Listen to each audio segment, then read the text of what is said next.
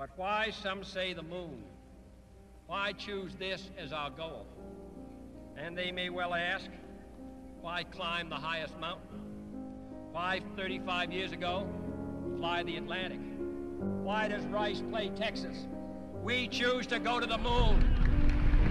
We choose to go to the moon in this decade and do the other things, not because they are easy, but because they are hard.